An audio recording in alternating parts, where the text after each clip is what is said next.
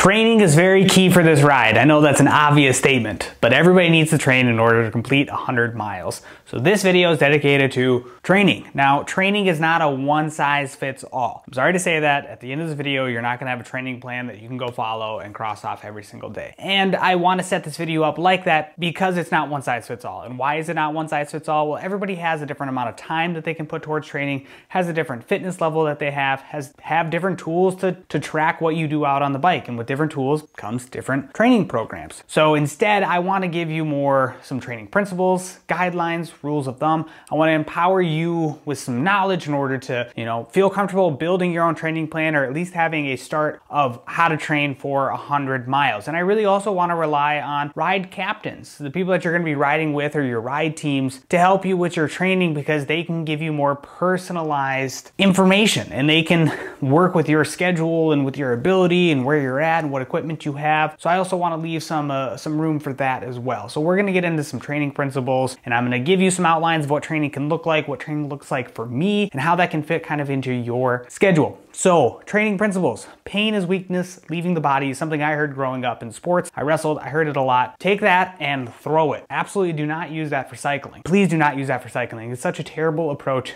to cycling. And I see it happen to a lot of people, myself included, when I first started cycling. I went out there and tried to pound it every single workout because that's what I did in wrestling. I played baseball as well. And, you know, I tried to go really hard every practice, every game, right? Like you're trying to give it all. Do not do that for cycling. That's a terrible approach. You're going to burn yourself out. You're probably going to cause injury, sickness, or whatever. Plus, what a lot of people do is every single ride, they try to go like 85% of what their 100% is every single ride, and they just plateau. Like they never get better. They never go super hard, and they never go super easy. So, one thing that I've learned in cycling is going really slow can help you go really fast. I'll get more into that. But pain is weakness leaving the body. Throw that out the window. You're gonna have rides where it was super easy, and that is the purpose of that ride. Be okay with those super easy rides because I promise they will help make you faster. We'll get into that. I want you to look at training in a long-term view. Don't look at it in a short-term view. Look at it in months, weeks, then we kind of look at it in days. But again, it's this big picture that we're building toward. Be flexible with yourself. Don't be so rigid that every single day I have to do X, Y, and Z. And if I don't do that, well, that throws everything off. No. So we want to look at it big picture. So months, weeks, days. So I look at what my goal is for the month. Then I build the weeks in there. How much am I going to be training each week to make this goal happen for the month? And then once I figure out kind of the weeks are going to look like, now we can start filling in the days. We look at each day and we say, okay, how does this day build into the bigger week and build into the bigger month? And then also it, it, it allows you to have flexibility. Because if you have, say you want to accomplish eight hours of training in one week and you're going to do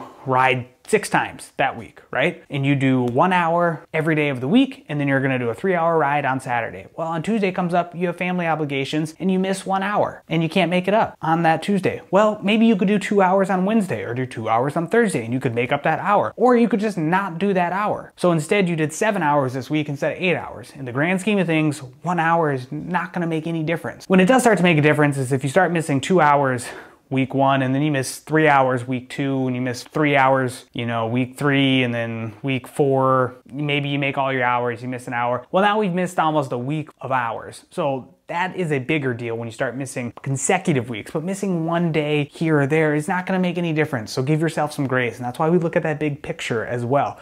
Don't look at it as just like one day, and if I miss this day, it's gonna throw off the whole training plan.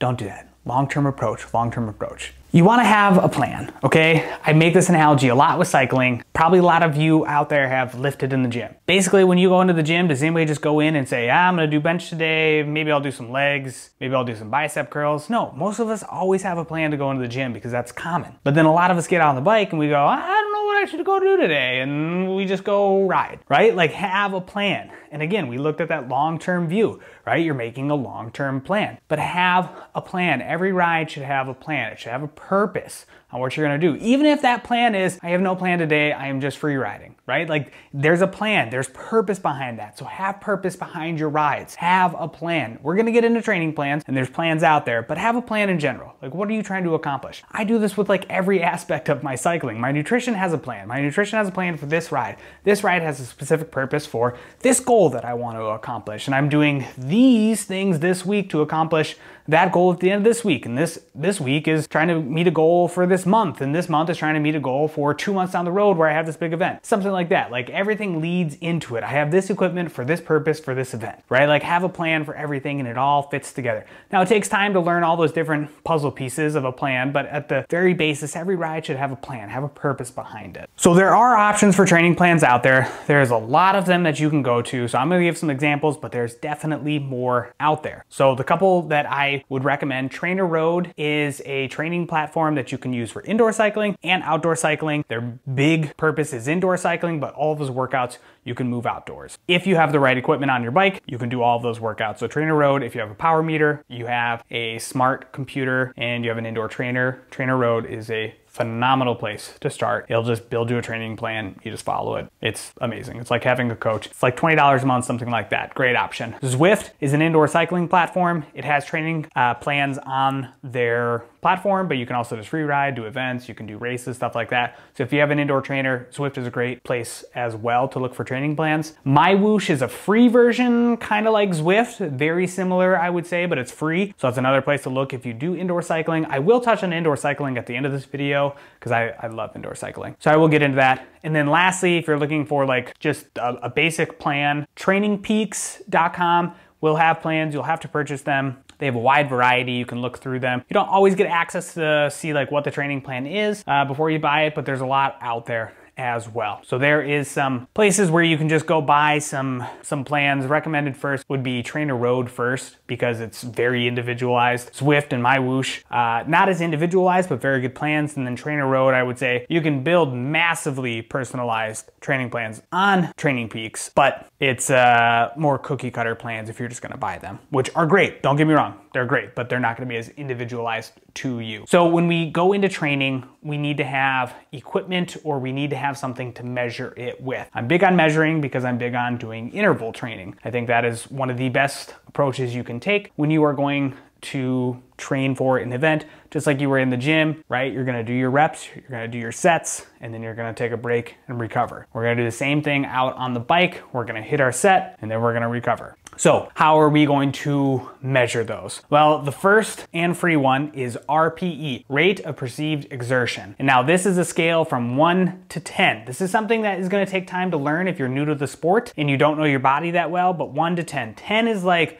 I'm all out sprinting for my life. There's a cheetah behind me and I have to out sprint this cheetah. That is a 10. So like 10 is max. Now also 10 though can vary depending on how long the distance is. This is kind of a weird thing of cycling is I know how fast I can go if I'm out sprinting a cheetah, right? Like that's all out. But also I know how fast I can go for an hour and how to hold that 10 for an hour. So I'm clearly not going as fast as I was for the cheetah, but I'm still pushing my limits for an hour. So you also have to look at it from that standpoint point of how long of time is going to pass while I'm putting out that effort. So 1 to 10. So 1 is the easiest, 5 is in the middle, 10 is the hardest. Rate of perceived exertion. That's one way to measure. Second way to measure, a little bit of money, but still pretty cost effective is heart rate. Heart rate is a great thing to measure. If you're in cycling, the one caveat that you need to know with heart rate though is it usually lags a little bit. So if you're trying to sit within a certain heart rate zone, what a lot of people tend to do is they spike too high at the beginning of that effort because they're trying to get that heart rate up and then they try to plateau it out. So what I would recommend if you are using heart rate, slowly get up to that heart rate number. Don't spike to get to that heart rate number because you're gonna go over it. It lags a little bit. So if you're gonna do a 10 minute effort, you know, maybe take a minute to let your heart rate get up. Don't feel like you have to spike that heart rate, but then also you have to let your heart rate get back down. So again, it lags. It's a great measure though of training. So don't feel like heart rate is bad by any means. I use heart rate every single time I go out on the bike and it's definitely a training metric that I look at. Lastly is power. You can have a power meter on your bike and that is going to measure the watts that you are putting out on your bike. Power is the best measure for training because no matter if you're riding uphill, downhill into a 20 mile headwind, into a 20 mile tailwind, you're putting out 200 watts. 200 watts is the same for every single one of those scenarios. Doesn't matter how fast you're going, how slow you're going, it does not matter, but you can use power to measure your training. Power meters cost a bit of money, they take some knowledge. I use a power meter all the time to build my training plans, but they are not necessary, but they are a very nice thing to have if you would like to invest some money in it. There's some really good options out there and it can really take your training to a different level and you can hit intervals like never before because it's so so precise. So what I don't want you to use to measure your training, I don't want you to use miles per hour and I don't want you to use overall miles ridden. If anything, we're gonna use total hours on the bike. So why do we not wanna use miles per hour or miles ridden? Well, first off, miles per hour has so many variables in it. And I really don't like people to measure success and how fast they are and how good they are by miles per hour. Like do not let your head unit dictate what kind of training you should do because you're like, oh, I want to hit 18 miles per hour average, so I better go a little bit harder so I can get that. There's just so many variables with that, and I think it can really throw off your training, and it's a big ego boost to a lot of people. Take that out, throw it away. Miles per hour, is, it just varies so much because it depends on how much are you going uphill that day, how much of the wind is hitting you, how much of the wind was at your at your back. Uh, was it perfect conditions that day? Was it not perfect conditions that day? Like miles per hour is so variable. Please don't use it as a measure of success or a measure of how hard your ride was, or anything like that. Like again, we are completing a 100 mile ride. I get that, but in your training, don't think like you have to hit this many miles on this many days and all that stuff. I think that's bad. So don't think that you have to hit, you know, miles per hour to a certain number each day. Also miles per hour, I think a lot of people look at what you do in a group and be like, oh, I got to do that solo. No, me solo, you know, 20 miles per hour is a hard ride. 21 miles per hour, that's a hard ride. Like very hard ride solo, right? Because you have stoplights, you have stop signs, you have cars that you got to avoid. You have all these different scenarios that, that affect your average speed. But then I go race and I can do 25 miles per hour because I'm sitting in a group and it's way easier than doing 20 miles per hour on my own. So like I, I, want you to understand when you look at these groups who are doing 16 to 18 miles per hour, 18 to 20, or 14 to 16, you're gonna be much faster in a group. So don't feel like as a solo person, you need to hit those miles per hour numbers. So just put that out there. And then miles ridden in a week. I don't want you to look at miles ridden in a week either because it can vary so much depending on, again, how much elevation are you doing in your rides. The more climbing you're doing, the less miles you're gonna do. And is it windy that day? You're probably gonna do less miles if it's super windy and you got a lot of headwind. Or if you got a big tailwind, then you're gonna do more miles. Like again, there's so many variables and factors within how many miles you get in in a day. So I like to look at hours actually riding. I think it's a better measure overall for your training. So now we get into like what a day can look like, what days can look like, what weeks can look like, what months can look like. So I want you to think of everything as in a three-step build, one-step recover. I build all of my weeks like this. So if I'm looking at a four week time period, I'm gonna have one week here, second week here, third week here, and then we're gonna rest. So this is for me, this is for me. I wanna lay out, this is for me. In the middle of my season or kind of early part of my season, I may do week one, eight hours of training, week two, 10 hours of training, and then week three, really try to put in a lot of training and do 12 hours of training. And then week four is my rest week, and that is going to be, you know, five hours of training, something like that. Like I'm gonna drop off, they're gonna be super easy rides. And if I'm doing that in the month view, then in my week view, I'm gonna do two hard rides, you know, a medium ride, probably two easy rides and then a rest day in there, right? So everything has hard, then you have somewhat intermediate, and you have easy. In a week, I wanna suggest doing no more than two hard rides a week. Now, if you have a power meter, you can figure out a little bit more what your hard rides are. If you have RPE, you don't wanna do more than two rides that are, you know, an 8 to a 10 or a 7 to an 8, somewhere in that range. Because you don't want to burn out. And I've seen a lot of people burn out by trying to do too many hard rides in a week. Also, you need to let your body recover. We do, you know, that recovery week on week four, but in the middle of the week, you need to be recovering as well. So if you're gonna do a hard ride, maybe you do an easy ride after that, or you do an off day. Recovery can be totally off the bike as well, but you can have an easy ride in there. So I'd recommend two hard rides a week, two medium rides a week, and two easy rides a week. Now that's six days of riding. For a lot of you, that's probably going to be a lot of days. And you don't need to do six days. But that's an example of two, two, two. So if you're gonna ride three days a week, maybe do one hard ride, one medium ride, one easy ride. If anything, do more easy to medium rides than doing too many hard rides. Please trust me on that you will thank me because going slow can make you go fast because you let your body recover. And time on the bike is still time training. Easy rides will build base. They just build how to ride a bike. Easy rides can build base. I do a lot of easy miles just to continue to build time on the bike, hours on the bike, and that time accumulated will make you a better cyclist. So if you're gonna do five days of riding a week, I would do two hard days, a medium day, and two easy days. If you're gonna do four days, I'd do one hard day, one medium, two easy, something like that. So there's an example of kind of what, what you should structure your weeks like. And then again, we want to do a build up of weeks, then take a rest. So first week, five hours, second week, six hours, third week, seven hours, rest week, four hours. We look at it all in number of hours per week. Now, a hard ride, I would also include your Saturday rides that you're gonna do with your ride captains or your teams. I would consider all of those group rides to be a medium to a hard, depending on what your group is doing. I don't know most likely they're not gonna be super easy because you're gonna go longer distances, which will accumulate fatigue in your legs. So look at those rides as either a medium or a hard ride, depending on what your group is doing. So what does a hard day look like? What does a medium and an easy day look like? So again, this is just general rules of thumbs. I'm gonna say a hard day, if you're going on RPE, is somewhere between an hour to two hours, and it's going to be probably two efforts an hour of 10 minutes at eight, seven to eight RPE, I would say, something like that. And what I'm trying to get at is something called threshold. Threshold is the amount that you can hold for one hour all out. And when we're using power, that is called your functional threshold power or your FTP. But if we're using that in rate of perceived exertion, I would say on a scale of one to 10, you're gonna be seven to eight. You're gonna do two efforts per hour, 10 minutes in that seven to eight feeling for 10 minutes, okay? Now, if you're using heart rate, I would get into that threshold zone and I would do, you know, 10 minutes or so of those efforts. Now, you can make those efforts a little bit longer, you can make them a little bit shorter, you can flex them all the way up to about 20 minutes, maybe would be the most I would hold in that threshold zone. And then after that, we wanna recover because if you're gonna go lift chest, you're gonna sit down and recover after that. So that's what a hard day looks like. Probably two efforts in that threshold range per hour, and those efforts are about 10 minutes long. I would flex them all the way up to 20 at the longest of those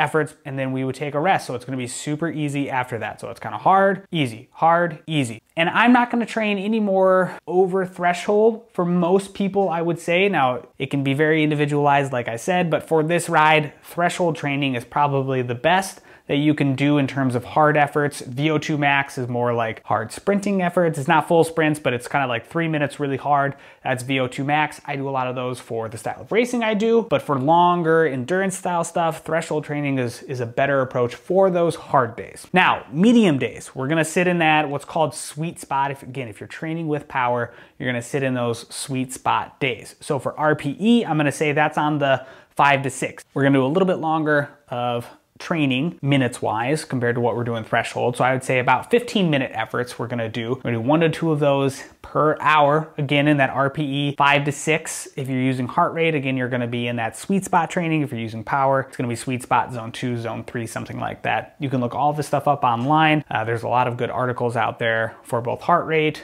and power and what your zones are, things of that nature. But I would say one to two efforts per hour 15 minutes, I would say, again, no more than 20 to 25 when you're in that sweet spot range. Um, RPE four to six, five to six, somewhere in that range. Like they're not super hard, but they're not super easy as well. One to two of those an hour. And then again, we're gonna take it easy. And then easy days are just easy, like just pedal. Like maybe a little bit of effort here and there, but you're just gonna pedal. Like just take it easy. They're called easy days for a reason. So that's your hard, your medium, and your easy days. Again, this is just uh, like a wide range, giving you some principles of what training can look like. I'd be happy to help you figure out what training could be applied to your life, your lifestyle, your goals. That's what I like to look at when I build training for people. I am not a certified cycling coach by any means. I am not putting that out there. But if you'd like some help on building a training plan, I would be more than happy to help you uh, figure that out. We can figure out together what makes most sense for you based on what kind of equipment do you have, what are your goals, and what kind of time do you have in the day. I'm really big on goals. Again, for this ride, it's 100 miles. But for other people, I go back to what is your goal? And then we're gonna train for that goal. Again, we're gonna anchor in that goal. So for this, it's all about that 100 miles. That's your goal, okay? And that's what we're training towards. If you wanna throw in other things, that is great, but we're training for that goal. And all of this training that we're doing, we are looking at that 100 miles, right, as our end goal. So we're gonna do all this training probably up until about the week before the ride. And I just wanna touch a little bit on trying to come in really fresh for that ride. Now, what we don't wanna do is go super, super hard the week before, right? Two weeks before, you can still go super hard. Your body will have plenty of time to recover. But like the weekend before, we still wanna get out for a really good ride, put some, you know, fatigue into our legs. That's still very good, but we don't wanna kill ourselves. If you're gonna kill yourself, do it two weeks before. But the week leading up to the ride, we also don't wanna do nothing, okay? We don't wanna just let the legs sit, okay? We wanna do some primers, basically. We wanna keep the legs engaged and moving and our body moving. So we want to do a couple easy rides those days. I would even recommend doing a ride on the Friday before the big 100 mile ride, but this is something to test out and how your body responds to it.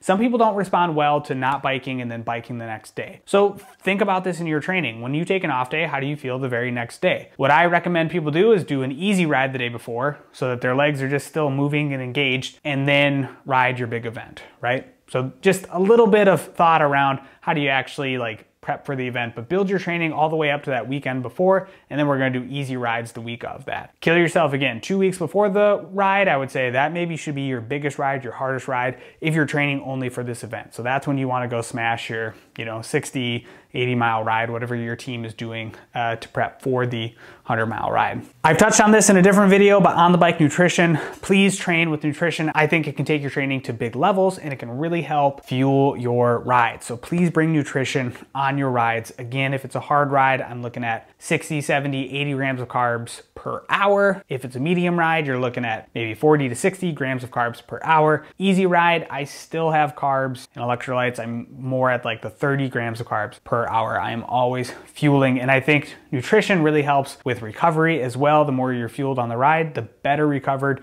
you are going to be after your ride as well. And again, I wanna cycle that into recovery is a huge part of cycling as well. Please take time to recover. That means sleeping, that means eating right off the bike. That means, you know, massage guns, foam rolling, stretching, do things to recover off of the bike. I don't wanna go super deep on it, but like find out ways for yourself so that you can recover really well off the bike. Train hard, recover harder, find ways to recover well. Like don't go do a big weightlifting session and then go play a ton of basketball and then think that you're gonna do really well on the bike because you are tired from those events. You can't go ride on the bike super hard. So like think about how you're mixing those things into your life, or if you have a deck project, you probably don't want to bike hard that day. Or if you biked really hard, then you're going to do a deck project in the afternoon, something like that. Like that's going to take a toll on your body. You're not going to recover as well that day. So then the next day, right, like you may need to recover more on the next day. Just trying to throw out some examples there. Some of the last things I want to touch on is I'm a dad. Uh, I work a full time job. When it's time to train, it's time to train. This is something that I really had to learn becoming a dad that I didn't have to do when I was single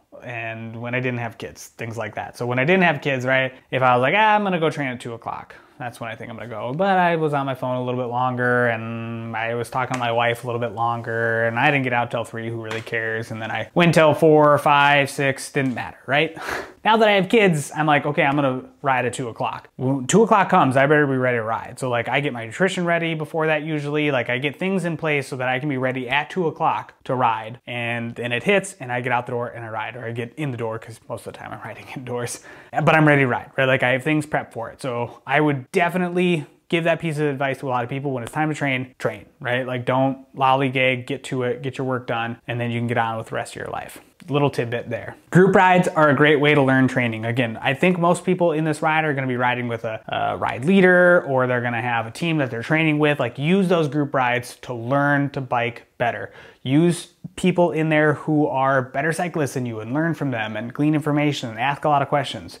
But outside of the Fathers to fatherless, there's a lot of great group rides going on throughout the Twin Cities. Bike shops have them, all that. Go join these uh, group rides to learn how to ride in a pack better, to learn how to be a better cyclist. It's a great time to learn a lot of information. Lastly, this is you can skip over this if you don't want to do indoor training, but I train a ton indoors, okay? Most of the year I'm indoors because it's winter, but also like during the week, I train a ton indoors. Why do I train indoors? Because I think it is one of the most efficient ways to train compared to, to outdoors. Like it's just, it's so efficient. Why is it efficient? There's no stoplights, there's no traffic, there is no sidewalks, there's no, uh, debris on the road there's no wind there's there's no flat tires right? Like there's nothing that can get in the way of my workout. And i'm never to stop pedaling indoors. That's another huge thing. Like i never stop pedaling indoors uh, which i just think makes for a more efficient ride. So all of my intervals that i'm trying to hit there's nothing that is going to interrupt that interval when i am inside except for a kid coming to knock on the door which happens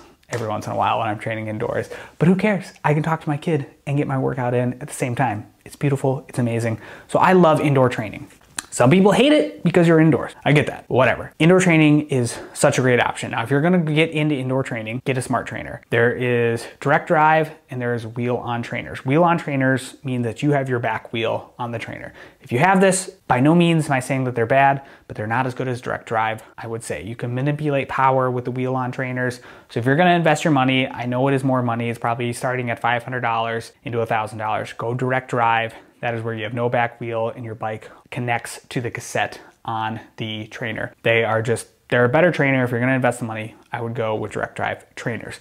And then you can use platforms like Zwift, MyWhoosh, uh, Wahoo System X. There's a lot of options out there. Trainer Road that I touched on in the beginning. There's a lot of options for training options indoors, but I think indoors is just the most efficient way of getting your training in. If you are new to indoor training though, please get yourself some fans or if you indoor train right now and you're like, oh my gosh, I just sweat all over the place, get yourself some indoor fans. You will you will train much better because the, the more you can cool down your body, the more effort you can put out. Get some indoor fans if you're not already using indoor fans. You're just gonna make your ride that much better. You're gonna sweat less as well. You can put out more effort with those fans.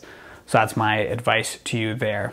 Now also I like to watch things on the TV uh, as well for entertainment. So I'm not just super bored.